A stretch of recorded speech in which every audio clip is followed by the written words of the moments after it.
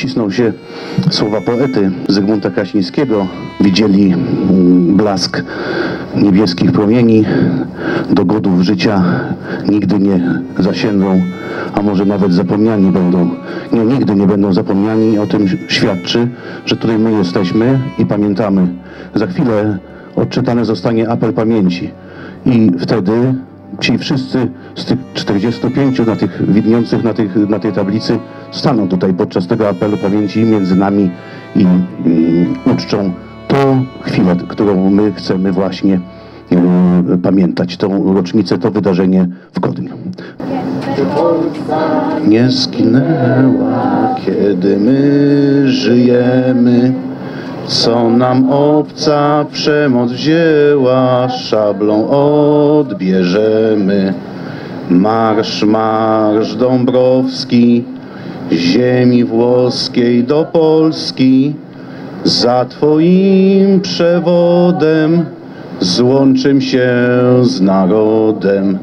Obywatele Kodnia, ojcowie i matki, młodzież i dzieci, rodacy, stajemy dzisiaj do apelu pamięci.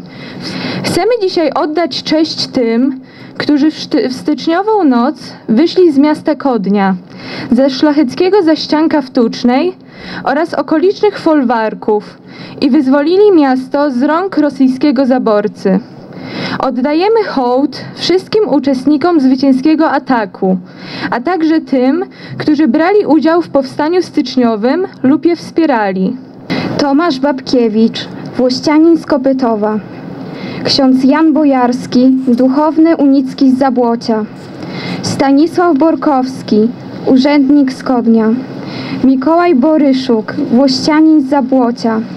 Grzegorz Demecki, mieszczanin z Kodnia, stolarz. Bruno Domański, z Elżbiecina, żandarm narodowy. German Domański, z Elżbiecina. Jan Domański z Elżbiecina, ekonom. Grzegorz Dyc, włościanin z Kopytowa. Bazylii Głowacki, mieszczanin z Kodnia, szewc. Bolesław Grubecki z Dobromyśla, rachmistrz. Władysław Hincz z Rossosza. Szymon Hordyjewicz, mieszczanin z Kodnia, gospodarz. Ksiądz Symeon Horszewicz z Kodnia, duchowny unicki. Grzegorz Jakubowicz, mieszczanin z Kodnia. Joachim Jałtuszewski, mieszczanin z Kodnia, Kowal. Leonard Jałtuszewski, mieszczanin z Kodnia, Kowal. Aleksander Jaszczyński, mieszczanin z Kodnia. Hieronim Kadłubowski, mieszczanin z Kodnia, gospodarz. Antoni Kruszyński, z Dobromyśla, oficjalista. Edward Lański, mieszczanin z Kodnia, sukiennik. Ferdynand Lański, mieszczanin z Kodnia, sukiennik. Józef Lański, mieszczanin z Kodnia, pisarz prywatny. Ludwik Lański, mieszczanin z Kodnia, sukiennik. Jan Lichaczewski, mieszczanin z Kodnia, szewc. Jan Lipecki, z Dobromyśla. Stanisław Lejnert, mieszczanin z Kodnia, Kowal. Michał Micewicz, mieszczanin z Kodnia. Prokop Michalczuk, mieszczanin z Kodnia.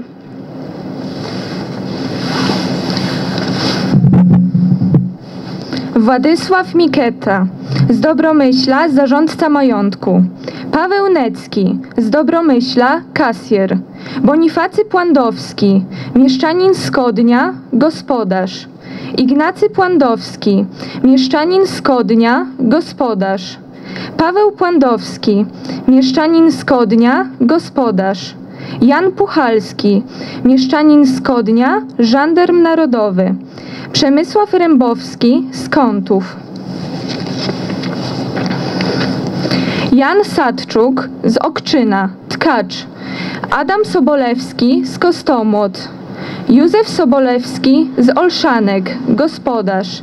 Apolinary Sydow z Kątów, właściciel folwarku. Eudokin Sko- Szkodziński, mieszczanin z Kodnia, gospodarz. Emilian Szkodziński, mieszczanin z Kodnia, gospodarz. Józefa Trzaniawski, mieszkaniec Kodnia. Franciszek Zaręba z Międzylesia, strażnik lasów. Bolesław Zegard z Zachorowa, dzierżawca majątku.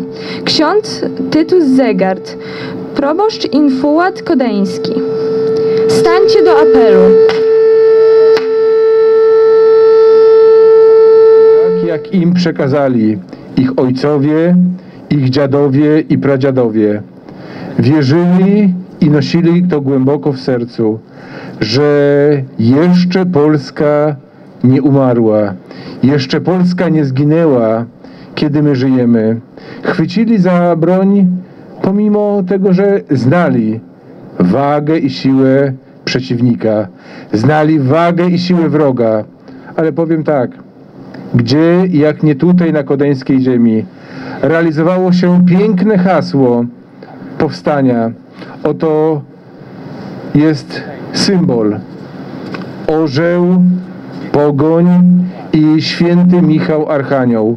Dziękuję Wam, mieszkańcom, bo gdyby nie Wy, to tych uroczystości by nie było. Dziękuję bardzo serdecznie i cóż, życzę wszystkim normalności. Dziękuję. Nie rzucim ziemi, skąd nasz ród, nie damy pogrześć mowy. Polski my naród, polski lud. Królewski szczep piastowy. Nie damy by nas gnębił wróg. Tak nam do